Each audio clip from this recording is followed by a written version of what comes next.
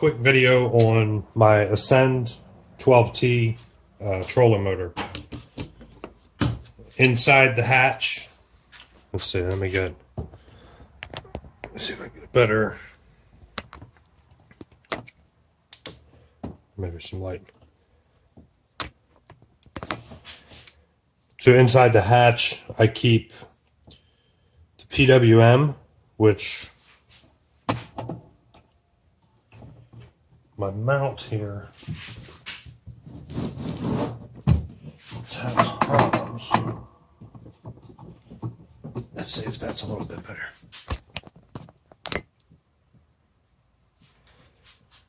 So inside here, I keep the PWM and two batteries. The batteries that I use are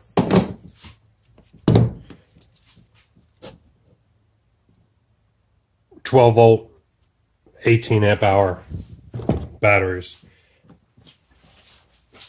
and the size of those. Let's see. Let me get a tape measure.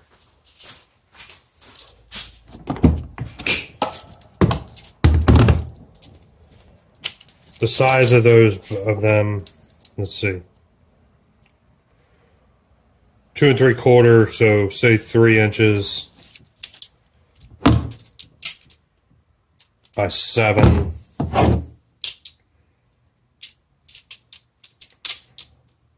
by six and a half so these batteries they're AGM batteries so you know you can they're sealed. You can lay them down. You know, they're not uh, liquid.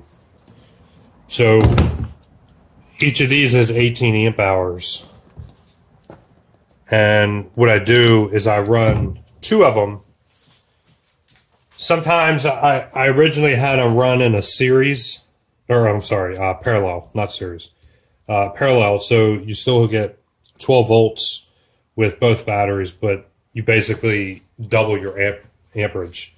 Uh, so that would take these from two 18, one 18 amp hour to basically a 36 amp hour. Um, I used to have, I had two connectors on here so that I could run par- uh, parallel these two batteries together, but I actually took it off and now I just run one battery at a time. Um, it's not it's not really necessary, I guess, for my use case to try to keep them parallel um, because a lot of times when I'm only going out for a half a day, I only take one battery. I, I don't take two, and so far I've gotten I get maybe I don't know I haven't ran one down below what 12 volts, you know, 12.2 or 12.3, 12.2 or 12.3 volts. Um, and that's out for four or five hours. I usually go to a, a small lake here by my house. I don't, I don't know how big it is. Um, but it's, you know, I might run maybe a quarter of a mile to a mile full throttle uh, to get out to a spot and then uh, from there, I might cruise around for a little bit, you know, on low. Um, some I might paddle a little bit, and so far, you know, one battery has lasted me a pretty good amount of time.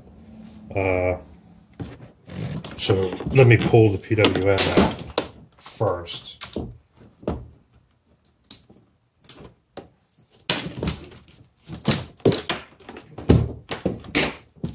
and just I, am gonna I'm gonna put a link to everything in the bottom in the thing down below uh, the video, just so you know what to get. I, I, also run my depth finder off here too. I have a little fuse block with like what are they five amp fuses.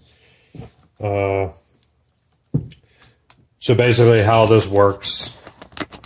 Let's see if I can get a better angle here. So I have, this is just a, a cutting board, all right? And I use the cutting board also on the mount for the motor. They're ideal size. It's like six by 12 or something. I don't know. It's, well, I got a tape measure here. So let's see. Six, six by 10. So there's six by 10 cutting board and it seems so far like it's perfect size to fit your 60 amp breaker, the PWM. Uh, I just drilled through here and put a, I think it's a quarter by 20 or whatever, uh, nut and bolt. And I use that as a grounding post. Um, it just, in my opinion, it makes it a little bit easier to access things if there's a problem. I can quickly take something apart, uh, move it around. Um, off of this, I run my depth finder, which comes out to these here. And this is just a, a ground goes over to here, and then a power goes right here. And on these terminals, I just put heat shrink. So right here, we have our power, I have a power in that comes into the breaker and then comes out of the breaker to the PWM. And if you got a PWM from the Wireless Troll Pro, Wireless Trolling Pro guy, uh, he's got this labeled which one is which. Uh, I took this apart. I think this is just a PWM. I don't think they made it. I think that this is just a PWM uh, off of Amazon for 15 bucks. I paid $100 for this. It has a RF uh,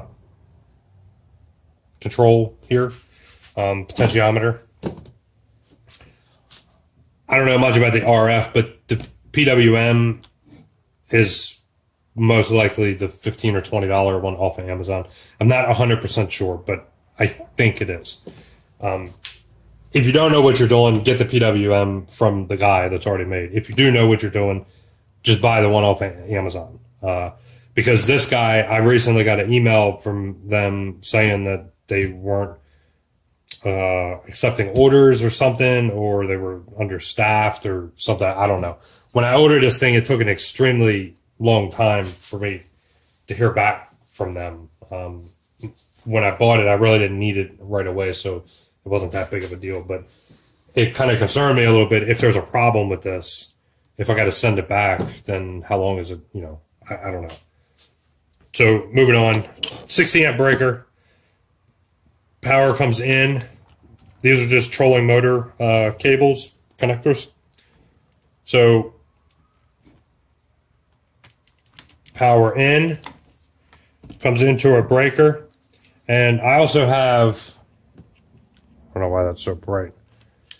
I also have a voltmeter here, and that's just so I can run it off of. I don't use the USB. Uh, I, I don't know. I don't really have a need to charge my phone while I'm out on the kayak. Uh, usually when I get on the kayak, the phone's charged ahead of time. But mainly I got the voltmeter so that I can see how many volts are on the battery so I don't take the battery too low and damage it. So that just runs off of the breaker. Uh, it runs before the breaker. Um, it has an inline fuse. Uh, so I wasn't concerned about putting it after the breaker or running it through this fuse panel. Um, so the only thing that the breaker controls is the PWM. So let's unplug that. So these two batteries, they have the same connectors. Uh, so I just run one at a time. There's there's really no point in it, and I tried to make everything easily accessible and removable because I put my kayak on a ladder rack on my pickup truck. Uh, so I take the batteries and the motor and everything off. I leave this in the kayak, but in, inside the hatch. Uh, so that your power comes in to the breaker, goes from the breaker to the output of the breaker to the inputs on the PWM. And then obviously from the outputs on the PWM to the motor. Uh,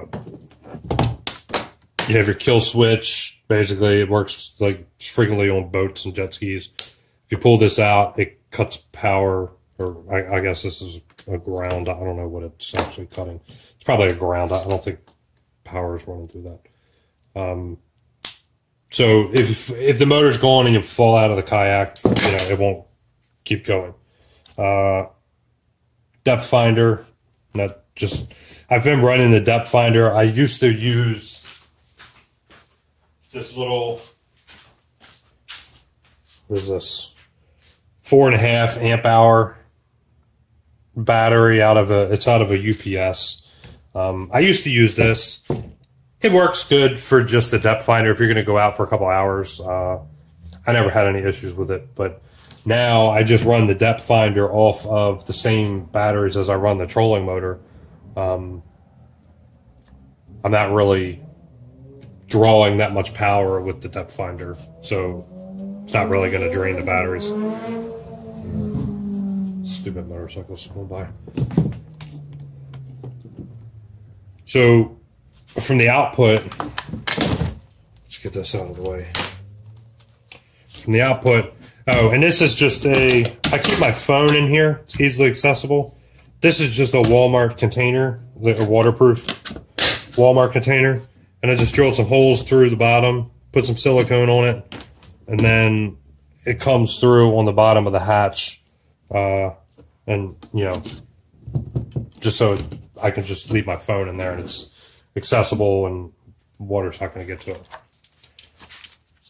So how this works here is I, I haven't drilled any I haven't drilled any other holes for the voltmeter. I don't think I'm going to drill any holes for the voltmeter because I really don't want to drill unnecessary holes. The only thing that I use this for, I don't need it. It's not a car. Uh, so I don't need to have like a dashboard where I can just plug everything in. So I just leave that inside of here. Um, the kill switch, I think what I'm going to do with the kill switch, let's see.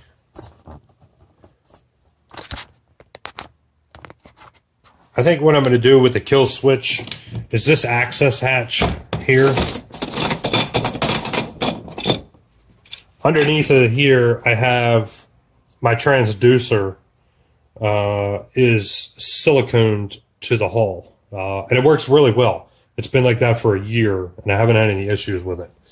Um, I don't really use it that much for the water temperature. I'm not really concerned with the water temperature. Uh, I got a, a, little infrared thing from RC cars that I can just shine in the water uh, to get a temperature. Um, but what I think I might do is on here on this lid uh, order another one of these that way I have one that's not um, you know doesn't have a hole in it drill a hole in this and then run the kill switch from the PWM and have it come through here so that way put your kill switch on there and if you're sitting in the seat you know so I may do that for right now. I, I just kind of, I've only recently put this on, so I've just been testing it. Uh, so our motor output, I have another set of the trolling motor cables, and that runs through the hull, uh, you know, inside the hull to the back of the boat. And I'll go to the, I'll show the back of the boat in a minute. So all we do, all we do is plug that in like so, tuck it up there.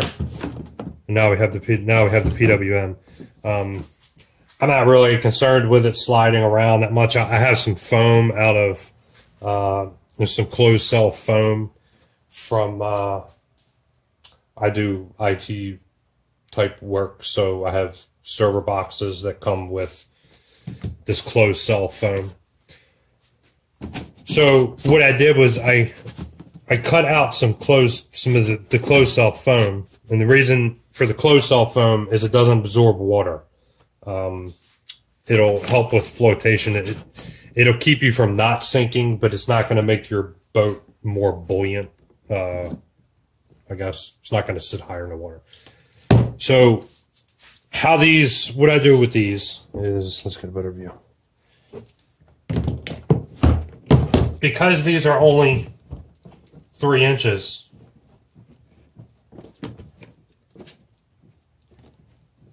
they slide right in there under the floor. So that's going right here. Um, actually, I think I got that one. I think I have that one mixed up.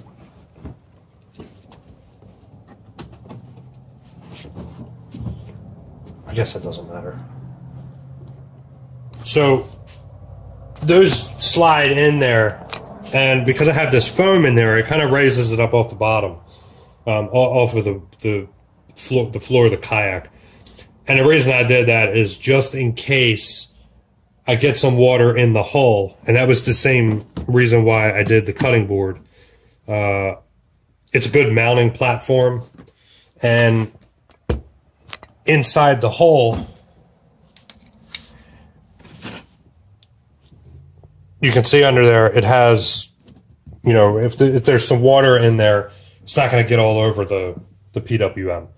Um, I've had this kayak for a year, and there's not been any water in here. I have one of the newer ones that I guess all the bungee areas in the front and the rear. Uh, people were complaining about they leak. I pulled all the screws out of mine, but they don't go all the way through the kayak. So let's tuck that away. And then we'll take the other one.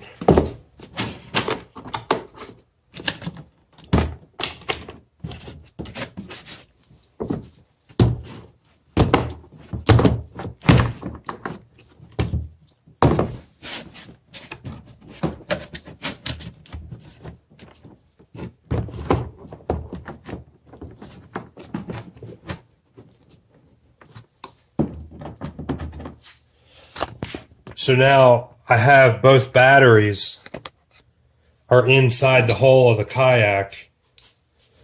One is over here and the others are the others over there. And then the PWM is here.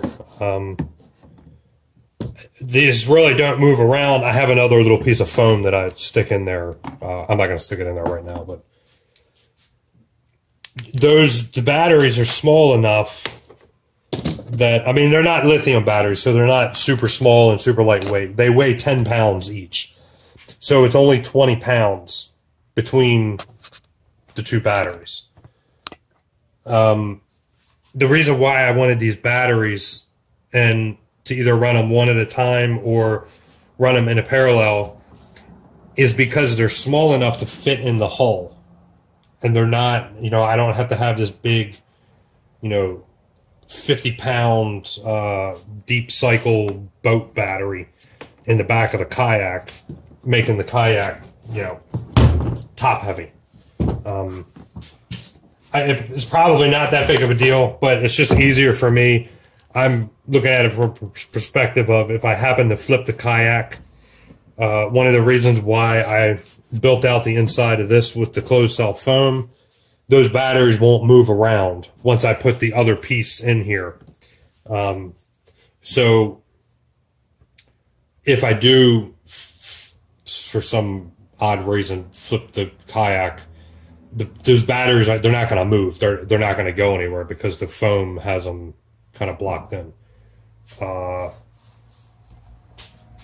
so this cable here runs to the back of the boat. And let's see, we'll move to the back of the boat now.